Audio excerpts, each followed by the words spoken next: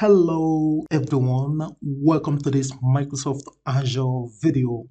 In today's video, we're going to talk about the introduction to Azure Synapse Analytics. We're going to consider key features such as workspace, data integration, data pipeline analytics, data exploration, data storage, security management, and some other benefits.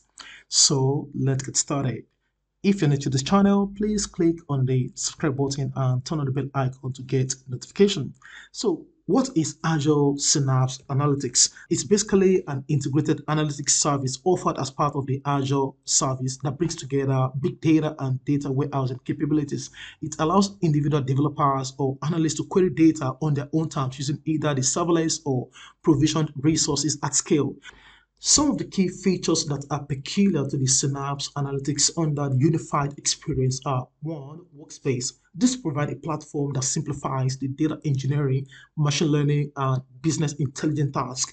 And two, we have what's called the Synapse Studio, which is an integrated development environment that enables data preparation, data management, data exploration, data warehousing, big data, and artificial intelligence tasks.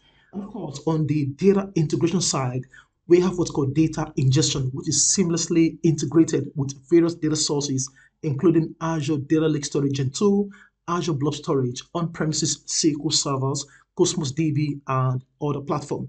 And of course, on the data pipeline side, we can perform the extract, transform of loading of data using the data pipeline.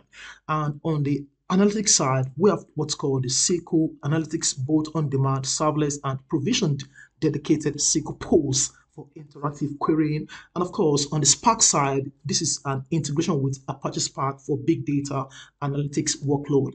And for the data exploration, we can use SQL on demand and Spark pools, which enables us to explore data without needing to move or copying data from one source to another destination.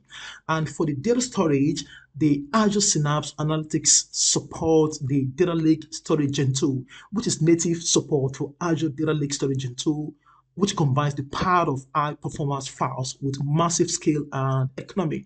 And of course, on the security and management side, the Azure Synapse Analytics support or it include data protection features like encryption, virtual network support, manage private endpoint, and firewall rules. And of course, it allows us to monitor the performance and troubleshoot whatever that's going wrong in our engine. Benefit side, the Azure Synapse Analytics allows us to store data independently, ensure that we can manage workloads of varying size efficiently without running into major problems. And based on performance, it is optimized for performance with capabilities like materialized view, result set caching, and adapting caching mechanisms. And of course, it offers serverless on-demand compute, which allow you to pay only for what you use without having to pay so much. And for the integration with Azure ecosystem, we can seamlessly integrate with other Azure services such as the Power BI, Azure Machine Learning, and Azure Data Factory. And all of this provide a comprehensive analytics solution. So having said all of this, let's see how we can create what's called the Azure Synapse Workspace. In the portal.azure.com, I'm going to come to this search menu and search for the Azure Synapse Analytics click on that and we want to create a synapse workspace. Click on that. And then we're going to land on the create synapse workspace page. And of course under the basics tab we're going to provide our subscription. And then we can provide a resource group. Of course i can choose one of the existing one but i want to create a new resource group. I'm going to call this one azure synapse rg or for resource group. Click ok. And of course this is not required. This manage resource group. And i'm going to scroll down under the workspace details, we're going to provide a name for the workspace. I'm going to call this one Abiola Synapse. So I'm going to go ahead and choose my region. So I'm going to scroll down and choose the UK South. And of course, for the select data lake storage gen 2, we want to create a new ADLS gen 2. So click on new and I'm going to call this one ADLS gen 2 Abiola and then we're going to create a container within the newly created ADLS Gen 2 Abiola. So click on this create new and let's just go on sales container and that should be fine. Click OK. Now we're going to have this um, assign myself the storage blob data contribution role on the data lake storage into account to interactively query it in the workspace. So this is absolutely required. Now I'm going to scroll up and come to the security. Now for the security, of course, we can use the authentication mode, either use both local or Microsoft Entra ID. I'm going to use only Microsoft Entra ID authentication. So this is checked for me and I can click on review plus create and this is going to be validated and of course we can go ahead and create. So validation succeeded, click on create. After about five minutes, the whole thing is created. We're going to have the storage accounts, the Azure Synapse Analytics workspace. Now I'm going to go ahead and click on go to resource. So when I click on that, I'm going to see we have this Azure Synapse RG workspace created. Now in the workspace, we're going to have the Synapse workspace. And of course, we're going to have this ADLS Gen 2 that is this storage account. So I can click on this and let's see the content. So when, when I click on that, I'm going to see the overview and of course I'm going to see other things such as the containers. And when I come to the container, I'm going to see the sales container that we just created when we are actually creating the workspace, which is cool. Now I can go back, let me come back. And of course I can launch the Synapse Analytics. Click on this, Abiola Synapse. And of course, we can see things such as the overview. And in the overview, we can see the resource group, the status, the location, and so many other details, including the firewall. And then we can go ahead and launch the Azure Synapse Studio by clicking on this open here.